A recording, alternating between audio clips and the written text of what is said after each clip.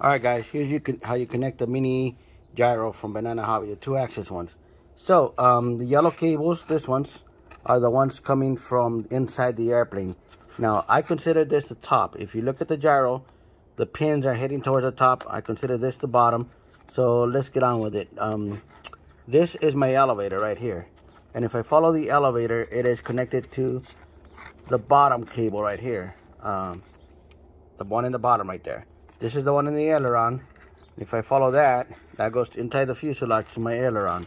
So on the side closest to me, aileron is on the top, elevators on the bottom. Now in the opposite side over here, the top cable right here, let me follow that one so you guys can see it.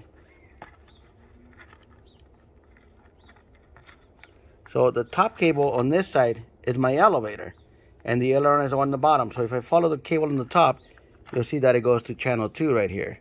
That is elevator. Channel 1, which is on the bottom, is for aileron. And then let me secure this.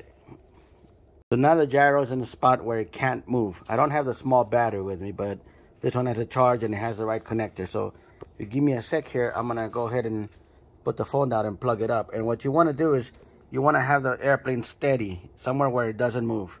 Uh, let me see if I could do this while I'm recording and then you plug up the cable.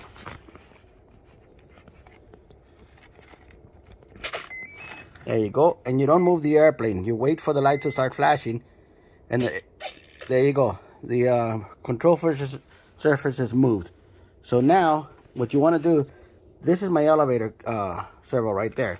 So if I lift up the airplane and then tilt it you see the air the elevator servo move right? The ailerons I don't know if you can see them moving or not. There you go. See, that should be able to. So you test it first and make sure that it actually is moving.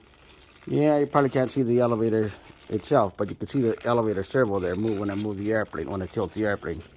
The main thing is that when you plug it up, it has to be in a uh, flat surface or somewhere. You don't, you plug up the battery and you don't move it till it goes through its sequence, which is um, the light is solid, it'll start flashing, and then it moves the control surface a little bit, letting you know that it's ready to go.